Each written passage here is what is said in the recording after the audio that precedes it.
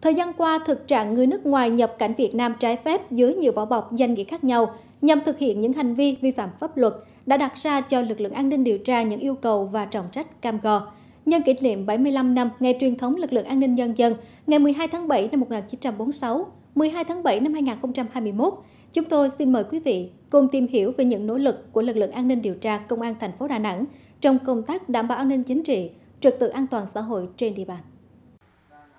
Đây là đối tượng Nguyễn Trần Anh Tuấn, 34 tuổi, quê tỉnh Bình Thuận, tạm trú quận Sơn Trà, thành phố Đà Nẵng, bị cơ quan an ninh điều tra công an thành phố khởi tố bắt tạm giam về hành vi tổ chức cho người khác nhập cảnh Việt Nam trái phép. Với vai trò là giám đốc của ba công ty trách nhiệm hữu hạn một thành viên tại Đà Nẵng, Tuấn đã cấu kết với số đối tượng người Hàn Quốc để làm thủ tục nhập cảnh hợp pháp cho nhóm 12 người quốc tịch Hàn Quốc đến Đà Nẵng, dưới vỏ bọc là những chuyên gia, người lao động tay nghề cao. Ngay sau đó, rất nhiều nhân viên, giám đốc của các công ty trách nhiệm hữu hạn nằm trong đường dây bảo lãnh này cũng lần lượt bị khởi tố và bắt giữ. Đặc biệt hơn, ngày 9 tháng 7 vừa qua, cơ quan an ninh điều tra đã làm rõ và tống đạt quyết định khởi tố đối với ba công dân Hàn Quốc đứng ra tổ chức tiếp nhận hồ sơ xin cấp thị thực từ các doanh nghiệp cho khách Hàn Quốc nhập cảnh từ Hàn Quốc qua Việt Nam.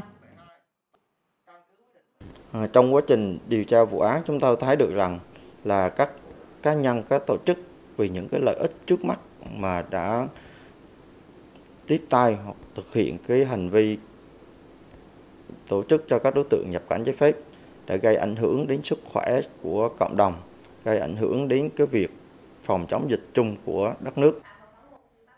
Còn đây là 22 tài xế trú ở tỉnh Thái Bình bị cơ quan an ninh điều tra công an thành phố Đà Nẵng bắt giữ, đều nằm trong đường dây của Đinh Xuân Dũng và Bùi Xuân Hải chuyên đứng ra tổ chức đưa nhiều người Trung Quốc nhập cảnh Việt Nam trái phép từ Hà Nội vào thành phố Hồ Chí Minh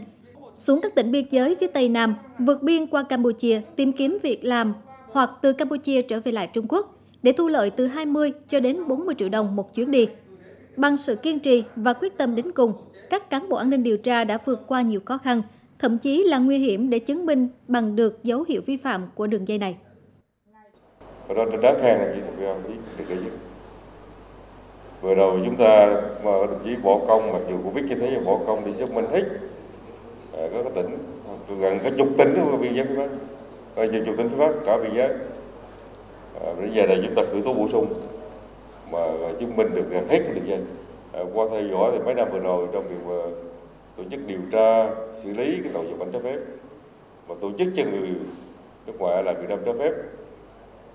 thì chưa có, có, có một địa phương nào mà làm triệt đế như công an Đà Nẵng chúng ta làm gì? Và đặc biệt là số lượng trong hai năm 21 20 và 21 thì chúng ta cũng có số lượng như giờ này. Ở khởi tố cũng cao nhất cả nước. Từ năm 2020 đến nay, cơ quan điều tra công an thành phố Đà Nẵng đã tiến hành điều tra khởi tố 15 vụ án, 56 bị can liên quan đến các tội tổ chức môi giới cho người nước ngoài nhập cảnh Việt Nam trái phép và vi phạm quy định về nhập cảnh. Chính sự phát hiện và nỗ lực của lực lượng an ninh điều tra, công an thành phố đã giúp công tác quản lý người nước ngoài nhập cảnh trên địa bàn được chặt chẽ, phòng ngừa dịch bệnh hiệu quả, chung tay cùng thành phố đảm bảo sự bình yên và hạnh phúc cho nhân dân.